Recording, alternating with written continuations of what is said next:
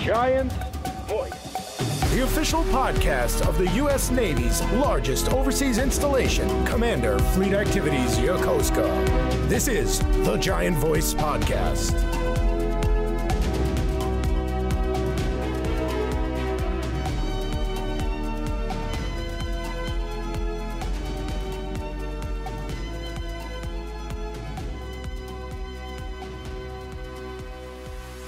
Welcome back to the Giant Voice Podcast. My name is MC2 Conner Houghtaling, and I'll be your host for today's episode. The topic today, it's all about moving to CFA and what our various tenant commands can do to help you out during that long process. When I moved here, I kind of had no idea what I was doing, uh, and I didn't do a lot of research. And uh, I didn't know about a lot of the uh, entitlements and benefits that you you are uh, as a sailor are entitled to. Because of that, we, we brought a lot of people in the studio today to talk about all the stuff you might miss when you're getting ready to PCS. We're also unveiling a new program that should help reduce the waste and harm to the environment during the PCS packing process. Uh, when you're PCSing, you end up throwing away quite a lot of cleaning materials and uh, bulk trash and stuff like that. So, we're going to touch on both aspects of those and try to hopefully point you in the right direction because um, sometimes when you're working on a military base, it's hard to to know what eh, know everything that's available to you. So stay tuned for that. We're joined today by Matt Morrison, a public affairs officer with NAVSUP FLC. We've got Louis Juers. Uh, he has worked with Japan's Personal Property Shipping Office. We've got Commander Tyler Sharar, uh, CFA's own public works officer and LSC Dinchel Adolfo. He's the NAVSUP FLC LCPO for the post office. And we also, uh, a bit of a surprise, but we also have um, both LPOs for both Yokosuka and Ikego's post offices here today. And they're going to shed a little bit of light on getting your PO box set up when you arrive in Japan. This episode is packed with information, so I hope this can help in some way. Uh, so please kick back, relax, and enjoy the episode. Thank you. Okay, so for our first guest today, we'll have Louis Juers, who is the Deputy Director of the Joint Personal Property Shipping Office. How are you doing today? Awesome. Thank you for having me.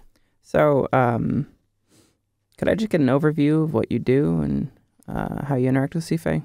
Yeah, sure. So our offices have uh, 12 different personal property offices throughout the region. Um, Okay. Here in Yokosuka, we have the Joint Personal Property Shipping Office, and we oversee all shipping um, household goods for all service members and DoD civilians throughout Japan, Guam, Singapore, and Diego Garcia. And we help members understand their entitlements, moving allowances, and assist in scheduling their household goods shipments, all the way from the pack out up until delivery. All right, well, thank you, and uh, appreciate having you on the show today. So, um, our first topic's about preparing for your move, um, moving your household goods and stuff like that. Um, feel free to abbreviate them HHG. I feel like we're going to be saying Mhm. household goods a lot. so, um, who do I talk to about setting up my household goods and the the moving process? Well, the first and foremost, um, you're welcome to come to our office and see one of our counselors. Um, but a lot of the information is already out there at militaryOneSource.com. They have multiple different references that you can use. Um, one is the 10 steps to the move process that gets you started before you even receive orders. And that helps you develop a plan or be organized. So basically, you want to know who to call um, and to know who to ask these questions to. But first and foremost is talk to your family and know where you want your household goods to go. Um, I know we're going to talk about entitlements probably a little bit later, but you want to already have a game plan of where you want to send your items, either overseas or into a long-term storage, and make sure your family's on the same page. So when you do come talk to our counselors, you can have those answers to our questions already, and you kind of have an idea. But if you don't know where to start and you don't know what questions to ask your family, come to our office, and we'll definitely assist to get that thing to get your move started. Thanks. And uh, could we go over step by step uh, it, what happens in the move process and what are some of the more important keynotes to remember? The most important keynotes is knowing what's there and available at your new destination. So Right. for somebody that's coming here to Japan, do your research on what housing provides to you.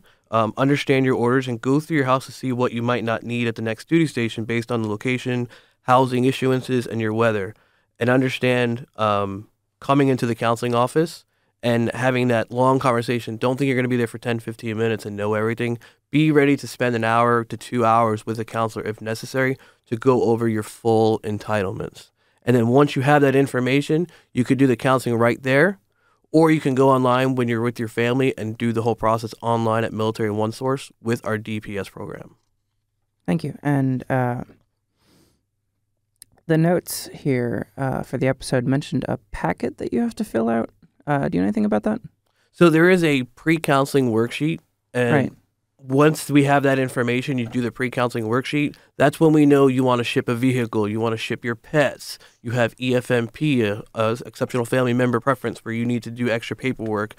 Um, that's the packet that we have. That's the first one you need to do. Once we know what you're going to be shipping, then we go back and ask for more information. But if you just have your orders in hands and you don't know where to start, just come to our office. Okay. And uh, do you see any common pitfalls that people fall into when they uh, when they're filling out this this uh, sheet?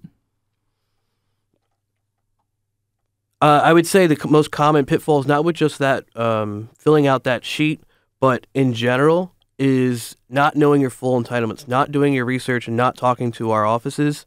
Um, unfortunately, we do see where a service member sometimes will try to do everything on their own, but then get deployed right before delivery, and the spouse is not informed of what's happening.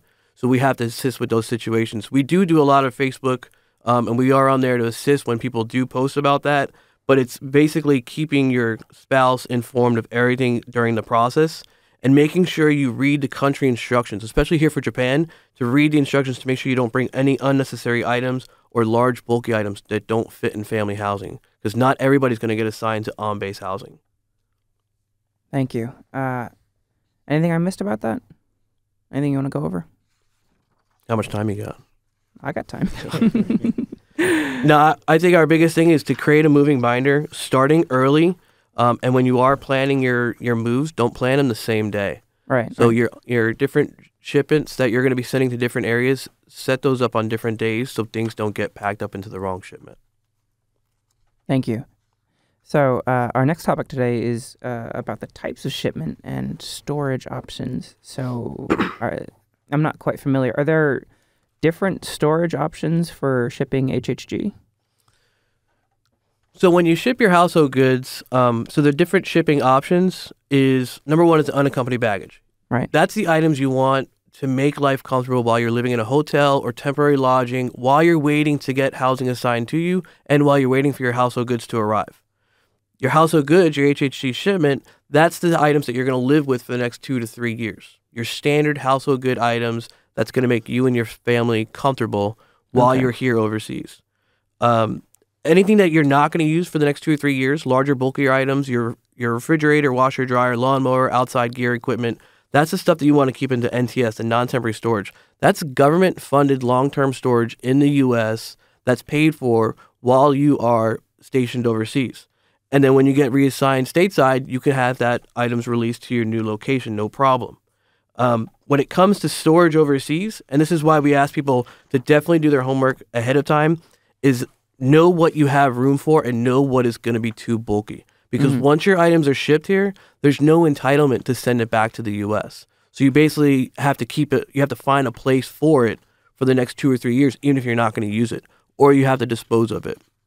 Um, storage solutions here at CFA, while you're waiting for housing, if you haven't gotten housing and your items show up here, it will be stored at government funding for up to 90 days. Um, if you need an extension on that, you just reach out to our office and we can assist with that. Um, but once you receive housing, you do need to take all of your household goods that you had shipped overseas. There is the Navy Exchange self storage available. Um, it is limited. It's not part of the household goods entitlement, but you could definitely reach out to them at the NEX rental office at 243 4456, and they can definitely give you uh, more information because they are open Monday through Sunday from 8 a.m. to 5 p.m. Thank you. Uh, how long can goods be stored at CFA before they're you know being required for delivery? Well, shipment entitlements are typically up to 90 days at first. Okay. Um, everybody gets the 90 day entitlement, no problem. Um, but if you do deploy or if there's an issue with housing, it's taking you longer, or you were TDY for a long time and you're going to pass that 90 day mark, it's not a problem. Our office will reach out to you before your entitlements expire. You let us know your situation, and we'll definitely work with you. Um, but we do ask that people try to get housing as soon as possible to get your government to get your household goods out of government storage. Nobody wants it in storage long, anyways. So Right, let's right. get it out. But yeah. um, you'll be surprised where people go on deployments for six to eight months and it just sits Mm-hmm. here in storage. And then when they do get it, unfortunately, we do have small issues with mold where we assist with those types of claims. yeah. Okay. Thank you. And uh, any options? Are there any options for sailors who don't have a lot of space in their new accommodations?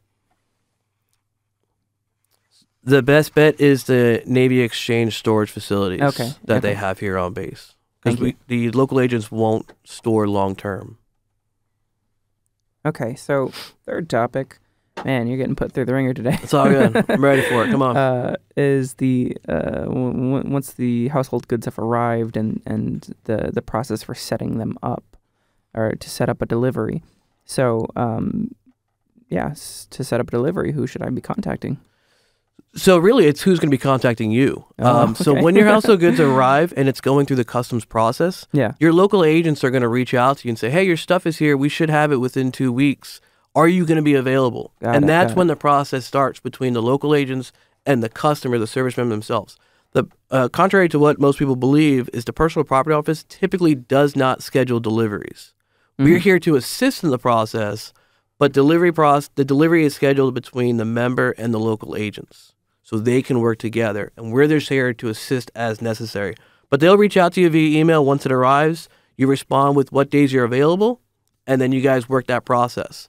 Um, once they confirm your delivery date, they do let us know um, because we do have a process where we'll allow a QA inspector or quality assurance inspector to go out and just to assist if there's any issues or concerns while the delivery is taking place. Thank you. Do you have a any sort of timeline for how long the uh, overseas household goods shipments should take? So currently, depending on the location where your household goods originated from, it could take between 77 to 117 days to get to our new duty station. Like I said, it all depends on where you came from um, and how long those ships take to get here because it doesn't come directly here. There is a shipping process. It's all done commercially. Um, we no, have no control over it. it. It's really based on where where you're coming from that takes the time. Now, your UB shipments do take a little bit quicker Mhm. um, because it's your express shipment. They want to hear faster. Those go by air, and they're usually 35 to 45 days after pickup. Got it. Thank you. And um, let's say it's all arrived. Uh, how would you recommend uh, disposing of any packing materials or stuff like that that uh, come out of your household goods? So your best bet is to let the local agents unpack your entire house. Okay. I know a lot of people don't like doing that. Um, I'm one of those folks, actually, that I'd Yeah, rather yeah. wash everything, look at everything, go through every box nice and slow, and I'll deal with the packing material later. Uh, and um, what are some what are some resources available at CFA uh, for any sort of trash disposal? So there is the bulk trash um, drop off on Mhm. base uh, down on Rickett Drive, just past the Ronald Reagan on your right hand side, and they will take your broken down boxes and packing material. Okay, thank you.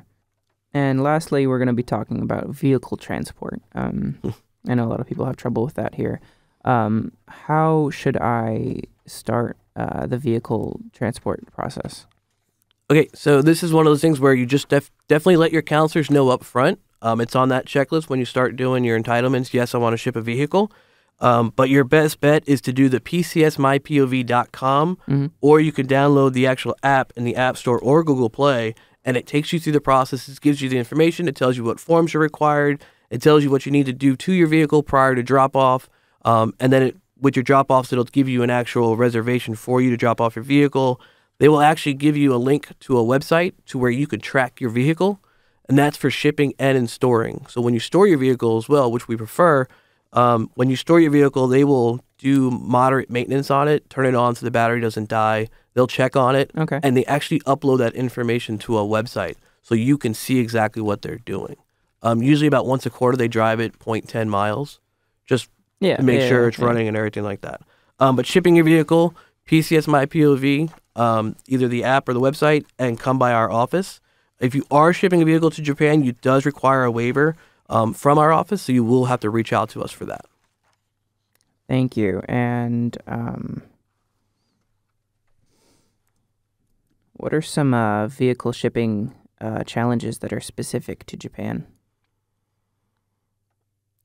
The biggest issue we have is people trying to ship Teslas um, Really? because Tesla US and Tesla Japan are not compatible. The charging stations do not match.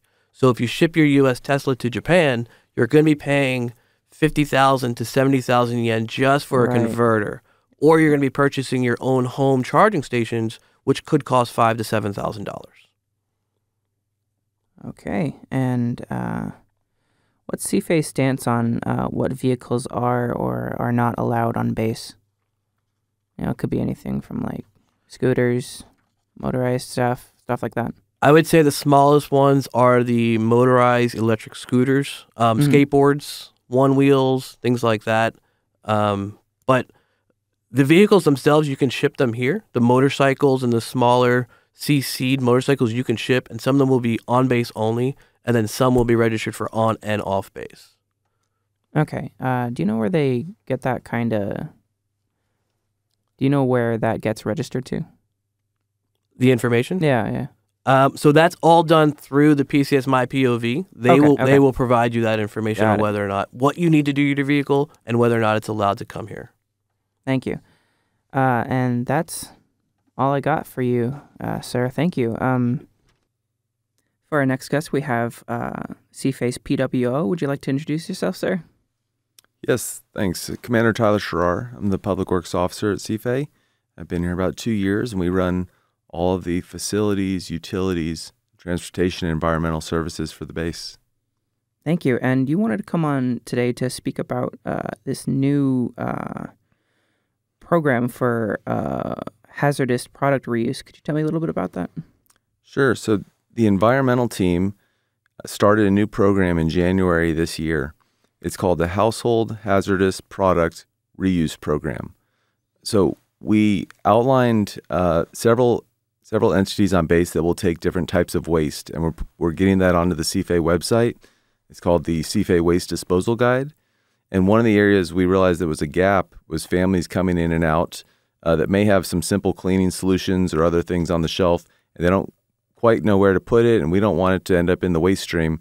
So we made this new program where families leaving or anyone can drop off clean, usable, U.S. made household products, things like uh, bleaches and household cleaners, uh, oven cleaners, pesticides, uh, isopropyl alcohol, and all that stuff can be on the shelf for any family or any any base resident that needs to use it, and they can stop by. So if a family's arriving PCS and they need to pick up some household cleaners or products, they can stop by. There's Simple Green on the shelf, there's bleach on the shelf, and it's all free. And from the base perspective, this diverts it from ending up in our waste stream and having to be Right. uh, contaminating the environment through through the trash process. Well, thank you. Uh, is there um, anything else you'd like to discuss? So that program operates uh, in in the near the environmental hazardous waste yard. Uh, the best way to describe it is kind of diagonally across the street from the NEX auto port behind the government Yeah, gas okay. station. And there's some some modular containers that have been uh, installed and connected in the parking lot there. Uh, so uh, we're manning it Monday, Wednesday, Friday, nine to eleven, and Tuesday, Thursday, one p.m. to three p.m. So during those hours, the staff will be there to accept or or issue free household products. So we especially hope as we start the program, the shelves are a little bit empty. So we especially hope families outbound will take advantage of this to uh, again uh, offload their their usable, clean, U.S. made household products. We also, as I mentioned, worked with other entities on base to document where people can get rid of things. I know that can be a challenge. Off base, the sorting uh, is much more uh, strenuous than on base, but we still require certain products to go to certain recycling sources. So the PWD run qualified recycling program has a yard. It's it's also in vicinity, just uh, behind the auto port and behind the NEX taxi operation. So the recycling program can take things like metal furniture and small appliances, uh, textiles, clothing, used lube, uh, lube and fuel oils. And, and recently this year, we started cooking oils as well. So you can actually deposit used cooking oil, uh, just put it in any jug, deliver it back there, and uh, they're open from eight to three thirty Monday to Friday. and that way we can actually sell and make money on those recycled products, and we put that money back into the base through community projects. Uh, two other venues that will accept used products the Auto Skills Center is run by MWR. It's uh, behind the NEX auto port as well. And they accept tires, engine oils, transmission fluids, car batteries, and other- things you might think of that are could be hazardous waste coming off of a vehicle or recyclable waste. And then finally, the NEX Car Care Center. That's that's the NEX uh, shop that's attached to their auto port, and they accept other similar car products such as flares. You might know someone with an expired flare coming out of their car. Uh, Yeah, propane propane tanks, coolants, uh, engine oil, diesel gas. So please do use those venues to get rid of used products in an appropriate way. Uh, that helps us as we pick up the general recyclables and the general waste. We do sort those through a contract on base, but uh, the more products we can get to the right venue helps protect the environment, lowers our cost of operations, and helps us uh, sustain the base more efficiently. Thank you, sir. And uh, if I had any questions uh, about uh, what can or can go into these programs, who should I contact? So that's one of the challenges. We're, we are going to put this waste disposal guide on the CFA website. Mhm. So if you Google, you know, CFA, uh, The CNIC site. the CNIC site that you know, a lot of people use it for the airport shuttle information, the fast team information. So there's some public works information there as well about how to uh, fix a facility service request, or this uh, this waste guide will be there as well, specifically for the environmental program on household hazardous reuse. Uh, Two four three four one zero zero is the DSN number from a cell phone. That would be 046 816 4100.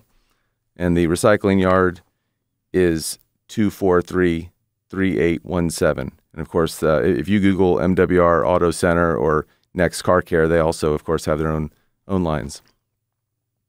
All right, sir. That's all the questions I had today. Thank you very much. Thank you. Appreciate it. We'll be moving on to the uh, mail and post office services. I'll let you get adjusted there. Could you folks introduce yourself? Uh, first of all, good morning. I'm uh, Chief Adolfo. I'm the current uh, LCPO and post uh, and acting uh, postmaster right now in uh, in Yokosuka and Ikego uh, post office. Um, and then I have here uh, Arsman Hughes. Good morning. My name is Arswin Hughes. Um, I am the LPO at the Ikego Post Office. Oh, Hey, good afternoon, everybody. I'm uh, Petty Officer Bryant, and I am actually the LPO for the Yokosuka Post Office on base. all right. Thank you guys for coming today. Uh, so, uh, the first question is about uh, getting a post office box uh, and whether or not you can do that prior to arriving at CFA. Is that an option? To be honest, yes, yes. So there's there's we got a couple options on that one. Um, what if the service members already have like their sponsors or helping them out before moving here, they can also um, assign uh, request for a temporary box for for the time being once Okay. they get here, and then when they fully come when they fully arrive in Japan, we still need to see them in the post office so we can start the necessary paperwork and make sure they assign the the right address box for them. Um, also, there's uh, in the USPS there's a website that they can do a change of change of address once they get their address from temporary address from us.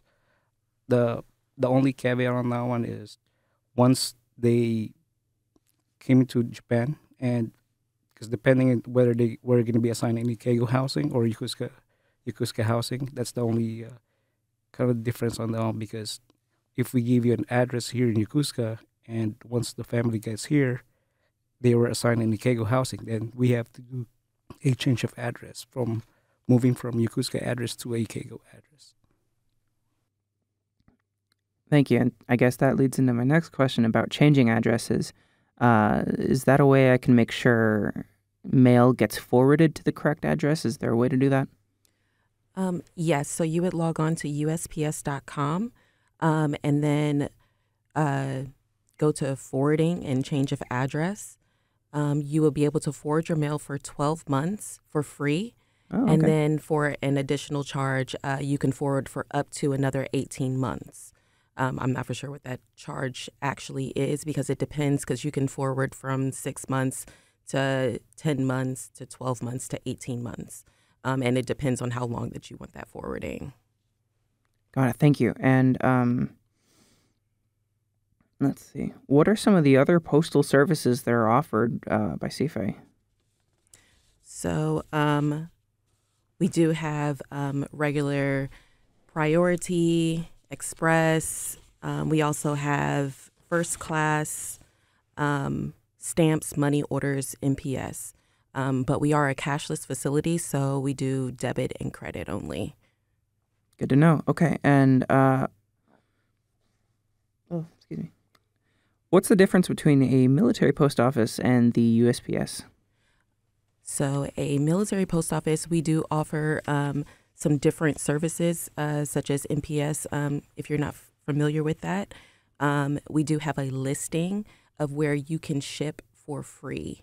Um, usually, those are ships or other military post offices, um, ships within our AOR, which uh, would be like Seventh Fleet.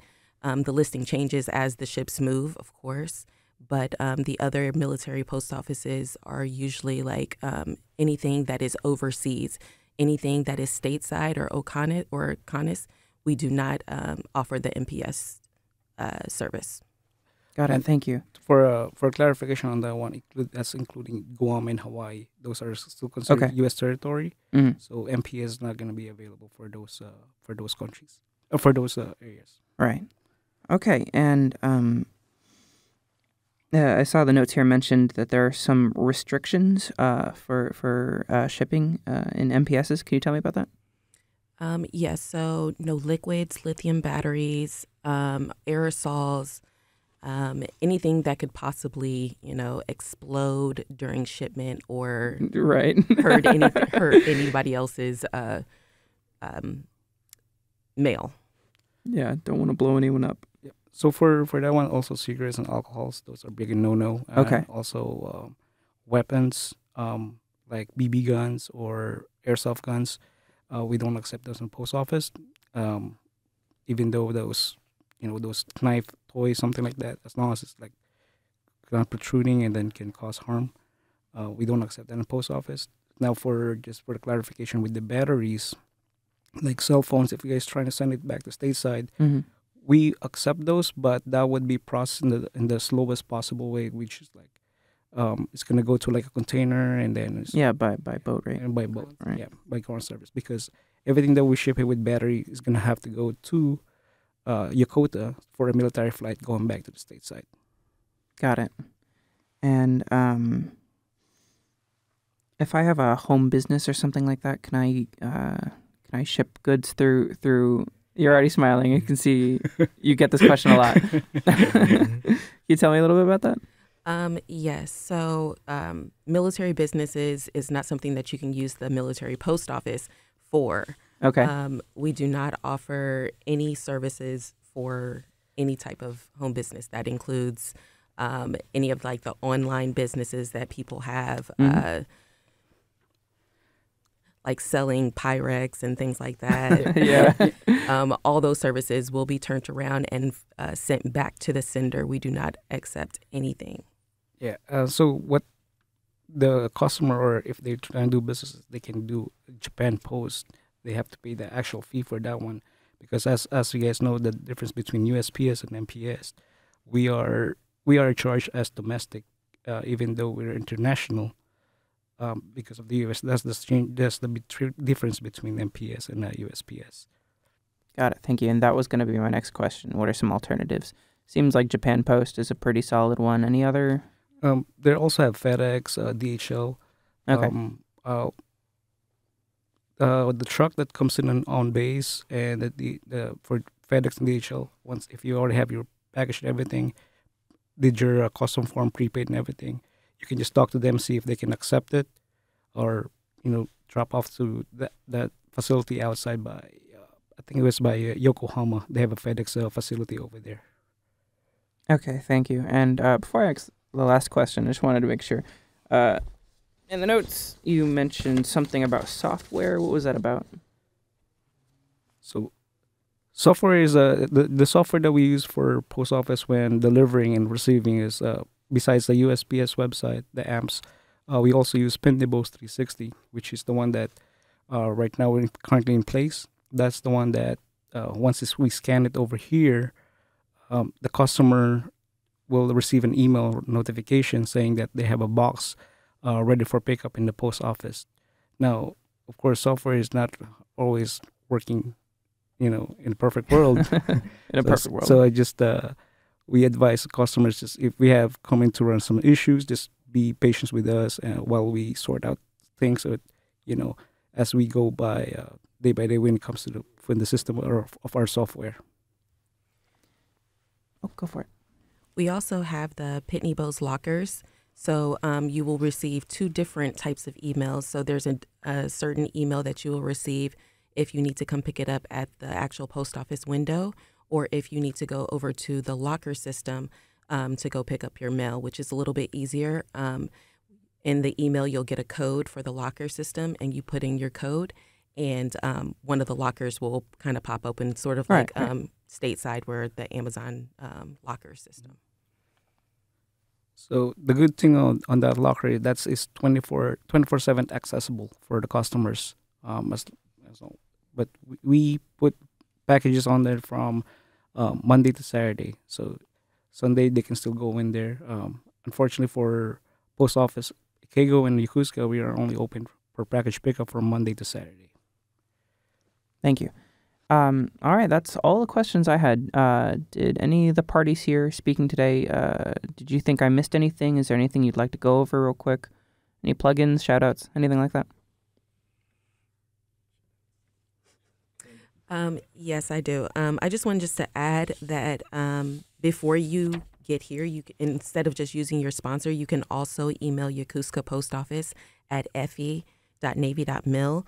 Um, just submit your orders and your family entry approval, and we will assign you a box ahead of time. That way, you already have a place to um, send your mail.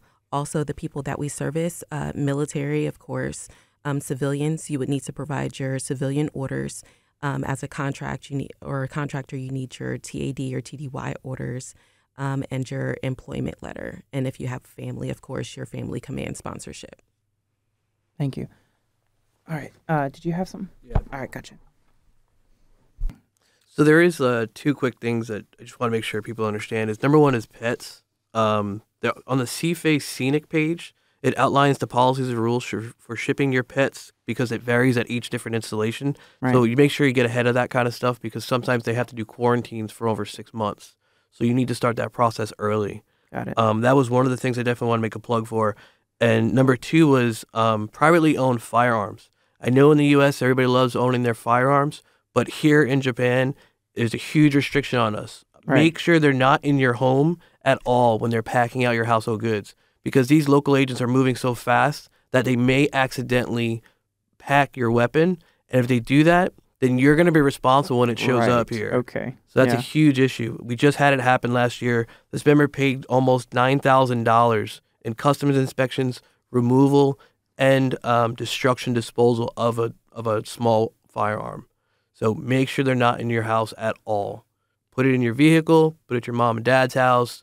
Put it with everything that they're not going to pack. Just get rid of it. Um, and there are current restrictions on bow and arrows right now as well. You must receive written prior approval from the government of Japan prior to shipping any archery equipment to Japan. And all those documents are in Japanese and they do not accept English translations. Have you gotten many archers? Uh, on we your, we have a way few. to Japan? we have a few. Um, there's a few here. Um, again, 20 years ago, we had a firing range in Atsugi. We had bow and arrows in Ikego. People would go to the archery areas. Um, a lot of those, obviously, it's shut down in Atsugi, but you know they used to do the clay shooting and things like that in the Right. area. So they are bringing it, getting rid of all that. But there are some archers or archery or what do you guys call them here in Japan? Yeah, don't know. enthusiasts. Okay, well, that's all the questions I had. Yep. Thank you guys so much. Let's get out of here. It's really hot. Appreciate you all for coming today. And that's the episode. That's everything I got, really. I hope you have learned a little bit more about the PCS process. Uh, we'll also be running a story I wrote based off of some of the info from today's episode, which will be going out on the next My CFA Weekly shortly after the release of this episode, so make sure to check that out. As always, if you've got any questions, comments, concerns, feel free to email us over the CFA Public Affairs Office at yokosukareport at gmail.com. That's Yokosuka Report at gmail.com. Thanks for listening. I, uh, I hope packing up goes well and uh, have a good one. The Giant Voice Podcast is a production of Commander Fleet Activities Yokosuka Public Affairs Office. The views expressed in this podcast do not necessarily reflect the policy of the Department of the Navy or Department of Defense. Thanks for listening.